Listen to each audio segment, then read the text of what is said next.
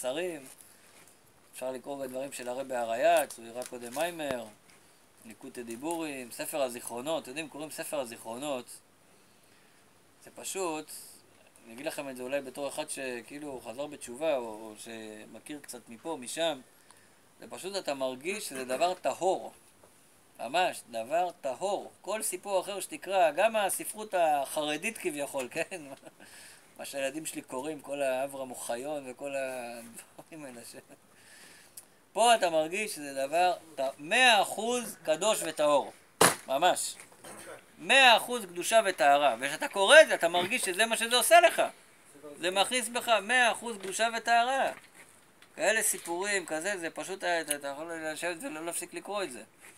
אני שם את זה ליד המיטה, שככה משהו לפני שנרדמים ככה, זה לא באמצע היום, אבל פשוט מאה אחוז קדושה וטהרה, זה כל מילה תענוג.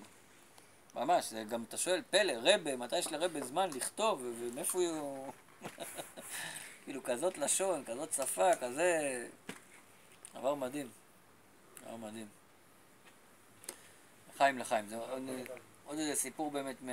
יש גם סיפורים של הרבי הרייץ, יש את האיגרת, זה מופיע באיגרות קודש חלק ג' ובשמות וסיפורים, מכתב של 85 עמודים שהוא כתב לרבנית חיה מושקה. סיפור, אני חושב שמכירים את זה, על שלושה חברים שלמדו בישיבה לא חסידית והתפצלו, ואחד מהם מגיע לבעל שם טוב ונהיה חסיד של הבעל שם טוב, רבי מרדכי ברוך הצדיק, מכירים אותו מהיום יום. יהודי יורד ל-70 או 80 שנה בשביל לעשות טובה ליהודי, זה כתוב בסיפור הזה. שהוא הגיע לבעל שם טוב והיה שם שנתיים, ואחרי שנתיים הוא התחיל לחשוב, מה עם החברים? רבי בר, רבי חיים, לא זוכר את ה... מזמן לא קראתי את זה. צריך גם את זה לקרוא מדי פעם מחדש, זה גם כן טהור ומזוקק. יש את זה בשמות וסיפורים, לא, זה מכתב של הרבי ארד, זה לא ספר הזיכרונות. יש את זה בשמות וסיפורים, ויש את זה באגרות קודש חלק ג' של אדמו"ר הרייץ. יש גם ביידיש וגם ב... אני לא קראתי את זה ביידיש, כן? גם באנגלית. בעברית. יש את זה גם באנגלית. בשניהם יש את זה גם וגם, כאילו, לפני שתורגם ואחרי שתורגם. איך? האם הסיפור אמיתי? מרדכי הצדיק זה סיפור אמיתי, כן, נכון. כנראה שהכל סיפור אמיתי שם. נכון? לא חשבתי על זה. לא, יכול להיות שהוא נתן משל גדול, כאילו... מה הסיפור של מרדכי הצדיק? כשהוא ישב שנתיים אצל הבעל שם טוב, הוא התחיל לחשוב מה עם החברים, צריך לקרב אותם, להביא אותם גם לבעל שם טוב. כאילו, הם נמצאים, חיים בדמיונות שלהם, חושבים שהם באיזה מדרגה וכולם אה, מתחת ל... צריך להביא אותם, אבל לא, היה לו את ההתלבטות שיש לכל חסיד, זה, זה כל כך יפה לקרוא את הרבי רץ מתאר את ההתלבטות הזאת, שכל אחד אה, להישאר אצל הרבה או לצאת לשליחס. מצד אחד אני פה רק שנתיים, יכול להיות פה גם עשרים שנה ולהתענג על הוויה, כן? מצד שני, מה עם החברים שעוד לא שמעו על הבעל שם טוב? צריך לקרב אותם. ומכל ההתלבטות הזאת, אז הוא אומר, טוב, אני אשאל את הבעל שם טוב. אבל גם יש לו כזה הרגש חסידי, אני אבזבז את הזמן עכשיו של הבעל שם טוב על השאלה הזאת, אני... בסוף, בסוף, בסוף, אז בשבת שהוא התלבט, אז הבעל שם טוב אמר תורה שיהודי יורד לעולם הזה ל-70 או 80 שנה בשביל לעזור ליהודי אחר אפילו פעם אחת בגשמיוס וכל שכן ברוכניוס. אז הוא הבין שזו תשובה בשבילו לצאת לדרך. יום ראשון הוא יצא לדרך, איך שהוא יוצא מהעיר, השמע של הבעל שם טוב תופס אותו ואומר לו הבעל שם טוב קרא לך שתבוא אליו. אתה נכנס ליחידות. נכנס ליחידות, והבעל שם טוב ידע כל מה שעבר לו בראש וכל הסיפור עם החברים, הוא אמר לו שתגיע לחבר הזה תגיד לו ממני שילמד אה, זוהר, אני לא זוכר את הפרטים, שילמד זוהר, ולחבר הוא תלמיד ש... שילמד את זה, וזה השליחות שלך אליהם, ובדרך תגיד חסידות, משהו כזה. איפה שאתה עובר, תגיד חסידות. ואז הוא מתאר את המסע שלו וכולו וכולו, והוא מחפש אותם, ועד שהוא הגיע באמת למקום שאמרו לו שאחד החברים נמצא שם. הוא נמצא בבית הכנסת של הקברנים, לא יודע מה זה, זה בקצה של העיירה. והוא פרוש כבר עשר שנים, שהוא פרש מאשתו, והוא חי בה בכנסת, והוא נמצא כל היום עם מסכה אבל על, ה... על העיניים, שלא יראה כלום, כמו סוסים, אתם יודעים, שמים להם מסכה, שלא יראה כלום ורק ילמד תורה. הוא קראו לו רבי, רבי חיים. רבי בר מברי, אני לא זוכר עכשיו את השמות, מתנצל.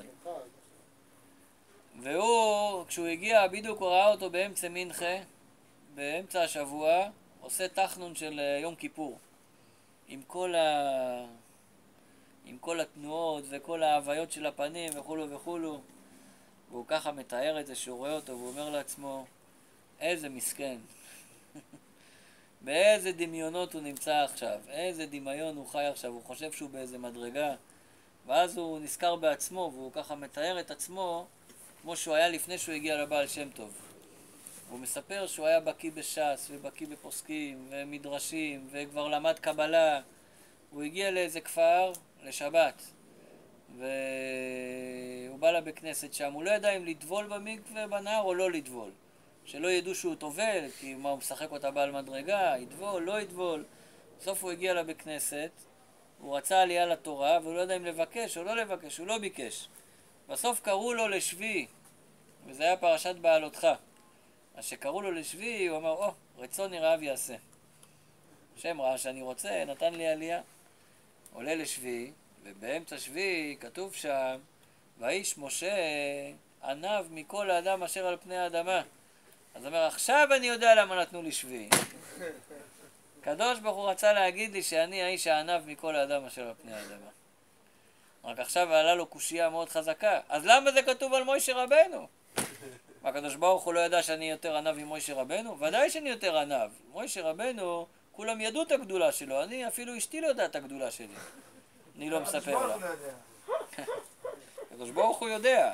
הקדוש ברוך הוא יודע, לכן הוא קצת בטרוניה אליו, למה הוא לא מפנק אותו יותר. ואז הוא מתפלפל שם, אה, אז, אז, אז, למה, אז למה זה כתוב על מוישה רבנו באמת? זאת אומרת, טוב, הקדוש ברוך הוא לא ידע, יש לי זכות הבחירה, יכלתי לא לבחור בזה. אה, סוף כל סוף יש, אה, הקדוש ברוך הוא גם ידע מה אני אבחר, אף על פי שיש זכות הבחירה. אז הוא הגיע למסקנה שבאמת, האיש משה עניו מכל אדם אשר פני אדמה זה בדור של משה. אבל עכשיו בוודאי שזהו. טוב, הוא מתאר את זה וזה, למה נזכרתי בזה? כי פעם אחת ראיתי את הסיפור הזה מול העיניים, מה הכוונה? הייתי באסנט בצפת, כמו שהזכרתי, ובזמן שגרתי בצפת היה איזו תקופה שהייתי מלמד שיעור טניה באיזו ישיבה של חוזרים בתשובה, לא של חב"ד. כל מיני חבר'ה שהגיעו מהודו, מהטיולים וזה, ולא רוצים דווקא חב"ד, רוצים כזה... כן, משהו כללי כזה. אבל הם רצו שיהיה שיעור טניה, ולימדתי שם שיעור טניה. והיה אחד שהיה מגיע לשיעור, אבל הוא לא יושב בשיעור, היה מגיע כזה להכין קפה ושומע כזה בחצי אוזן. איך הוא הגיע לשם? הוא הגיע ללמוד במכללה של הרב אה, אשרוב, של הרפואה הסינית. כולם באים ללמוד רפואה סינית, חוזרים בתשובה שם, זה משהו מדהים מה שקורה שם. אז uh, הוא היה כזה עם רסטות. איך? אתה יודע, הייתי בסרן סמנטי השנה בכינוס השלוחים, אז פוגש אותי איזה חבר מצפת גם כן, איפה הוא מצפת הלך, מספר לי שהוא מלמד בכלא, מספר לי שיש שם אסיר, בן 80, בן אדם ברמה מאוד גבוהה. אסיר על אה, צווארון לבן, בן אדם ברמה מאוד גבוהה, אפילו אמר לי מישהו מפורסם קצת, הוא אמר, הוא לא מוכן להניח תפילין, לא לשמור שבת, אבל הוא אמר לי, אני רוצה ללמוד טניה, הוא אומר, למדנו את כל הטניה. כל התניא למדנו ביחד. ולא עזר. הוא אומר לי, איך זה לא עזר לו? ובדיוק עבר לידי, עבר אה, מאחוריי ברוך ויללם, מכירים אותו מנהריה. שהוא גם כן בתניא מאוד חזק, ואני ככה, יש לי קצת, אני מתייעץ איתו, שואל אותו שאלות לפעמים. אז אני אומר לו, הרב ברוך, בדיוק סיפרו לי עכשיו על בן אדם שלמד את כל התניא ולא חזר בתשובה, איך אתה מסביר את זה? הוא אומר לי, גם על עצמי אני שואל את זה. לסיני. אתה אמרת כמוהו, כאילו, גם על עצמנו אנחנו שואלים את זה. טוב, הקיצר, מה, מה, אז, אה, מה היה הסיפור איתו? אז הוא כזה עם רסטות והגילים ועניינים ושרוואלים ופה ושם. טוב, זה היה איזה תקופה של... אחרי זה לא ראיתי אותו. לא ראיתי אותו איזה שנתיים. יום אחד אני באסנט, באמצע היום, מי שמכיר את הסנט, בחצר שם הפנימית, פתאום אני רואה אותו. אבל מה זה רואה אותו? פתאום הבן אדם חזר בתשובה, אבל מה זה חזר בתשובה? נהיה אדמו"ר. מה למה אדמו"ר? קודם כל כובע, אנחנו חב"דניקים יש כובע כזה מצ'וקמק קצת, כובע כזה רבני כזה, לא כמו שלך, יותר יפה משלך. לא עם הפרווה הזאת, עם ה... של הרבנים. כובע רבני כזה, בחור עדין, עדין, עדין, עדין, הוריד את הרסטות, השאיר פה שתי פאות כאלה חמודות, זקן עדין, עדין, מה זה נראה בחור רוחני? הולך עם חליפה ארוכה, הוא לא היה נשוי, חליפה ארוכה עם צעיף לבן. כאילו מינימום אדמו"ר של בני ברק עכשיו. עכשיו הוא רואה אותי גם, אני אומר לו שלום, וגם כאילו יש דיסטנס. כאילו...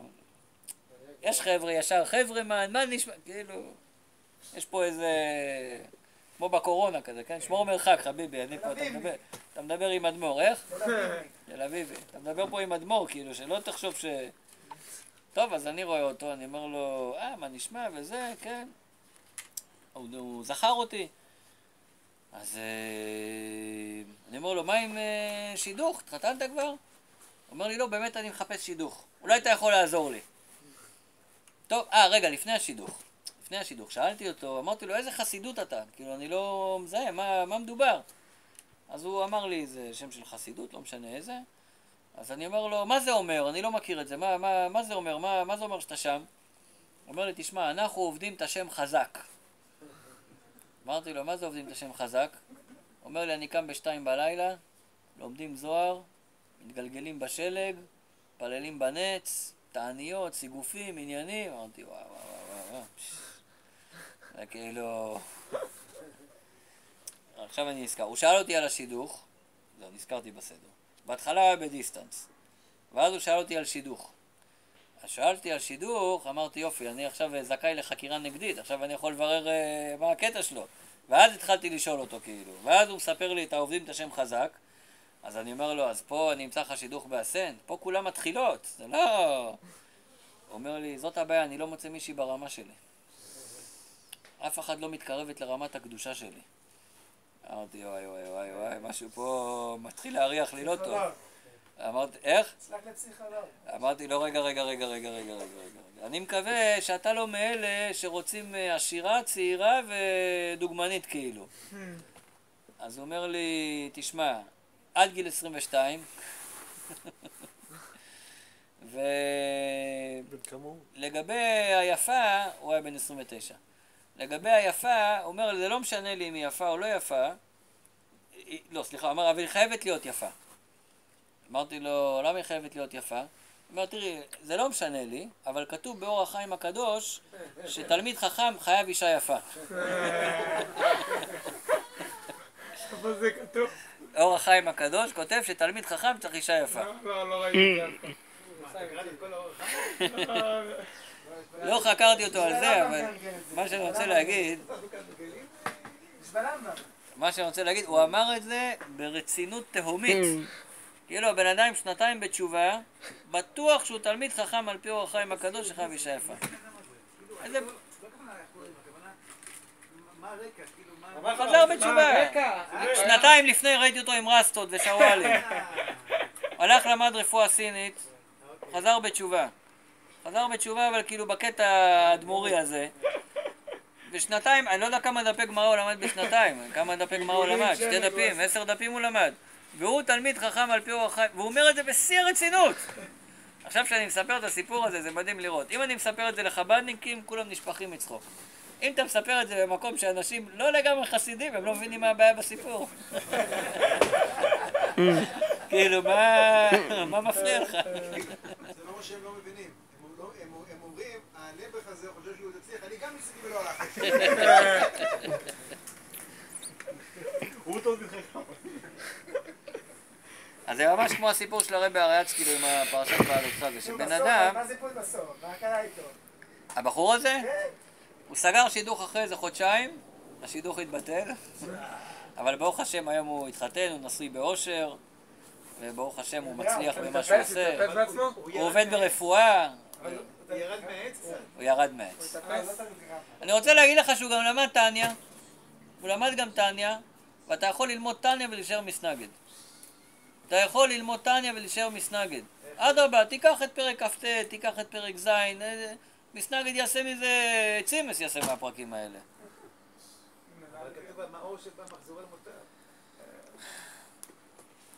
צריך ללמוד טניה עם הרבה.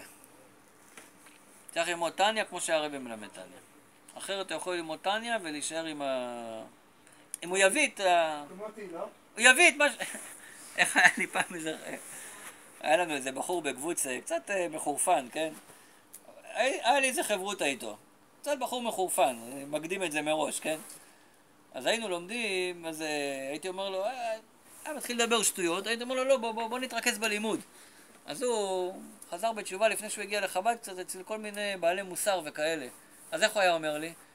אני מדגיש שהוא היה מחורפן, אז כן. הייתי אומר לו, נו, בוא, בוא, בוא נתרכז בלימוד, בוא נתרכז בלימוד, עזוב עכשיו לדבר עם אנשים. אז הוא אומר לי, כן, כן, כן, כן, כן, שאני לא מקבל גיהנום, שאני לא מקבל גיהנום. אז אני אומר לו, מה, אתה... חסידות. כן, כן, כן, שלא נתנתק מהקדוש ברוך הוא, שלא נתנתק מהקדוש ברוך הוא. אבל כשהוא אמר שלא נתנתק, וכשהוא אמר תקבל גיהנום, הוא התכוון אותו דבר. זאת אומרת, אתה יכול לקחת את החידוש של חסידס, שזה לא גיהנום וגן עדן, זה חיבור לקדוש ברוך הוא, תעשה מזה אותו דבר, אבל הוא רואה את זה כעונש ופרס גם כן. אז מה הרווחנו בזה? הסמנטיקה השתנתה, המילים השתנו, אבל, אבל בכוונה הפנימית שלו, מתכוון אותו דבר. היה בחור שהיה לומד איתי הרבה חסידות, היה לי ב- ב- לפני הקורונה ולפני זה, אתם יודעים, היינו לומדים ביחד. אבל הוא כבר לפני עזב, לא משנה. גם כן בחור שהתקרב לחב"ד, אבל הוא למד הרבה אצל הספרדים עד שהוא הגיע לחב"ד. וכל פעם דיברנו על... אה, למדנו יחד מאמרים של הרבה, זה מה שדיברנו פה. אז דיברנו פעם לא לחשוב גן עדן, גיהנום וזה, הוא אומר, תשמע, אבל מי שהיה אצל ה... איפה שלמדתי, אומר, זה לא יוצא לי מהראש. זה לא יוצא מהראש. כל הזמן הוא נכנס ללחץ הזה שאני אעשה ככה, אני אקבל ככה, אני אעשה ככה, אני אקבל ככה. החדירו את זה כל כך חזק בתוכו שקשה יראת העונש. לו להוציא את זה מהראש. שלא יעשה חטאים, שלא יקבל עונש. כאילו. היה בחור שהיה איתנו גם פעם בכינוס השלוחים, הוא שליח היום באיזה, באיזה יישוב פה, לא משנה איזה יישוב, שלא... אבל הוא גם כן חזר בתשובה, הוא היה בקהילה ספרדית, ואיזה חבר טוב שלי שהייתי גם כן אה, בישיבה, קירב אותו, והוא הגיע לחב"ד. הוא למד איתו קונטרס בית רבנו שבבבל, הוא החליט שהוא חב"דניק. מדהים, ממש, משהו... אז הוא היה איתנו בכינוס השלוחים אחת השנים, והוא אמר ככה, הוא אומר, הוא אומר, אני אגיד לכם את האמת. אני לא אוהב שאתה מצלם אותי ואומר את הדברים האלה, כי אנשים יכולים אה, לקחת את זה לא נכון ולהיפגע מזה, כאילו, הווידאו בשבילך, בסדר? לא בשביל להעביר אותו הלאה. לא לצלם. אתה יכול לצלם, אבל לא להעביר הלאה. שזה לא יתפרסם. שלא יבינו לא נכון, כן? זה לא... שנאתי את הקדוש ברוך הוא. אה, אומר, שנאתי לבוא לבית כנסת, שנאתי, זה שנאתי, כולם לחוצים, הכל בלחץ, תעשה טעות הכי קטנה, צועקים עליך, אתה עם העניבה ככה, אתה נלחץ ממנה. הוא אומר, שנאתי את הדבר הזה. אז למה אתה בא? הוא אומר, זה... אתה לא יכול שלא לבוא, כן? אתה, אתה חייב לבוא. הוא אומר, פתאום חב"ד, איזה כיף. עכשיו אני אוהב את הקדוש ברוך הוא.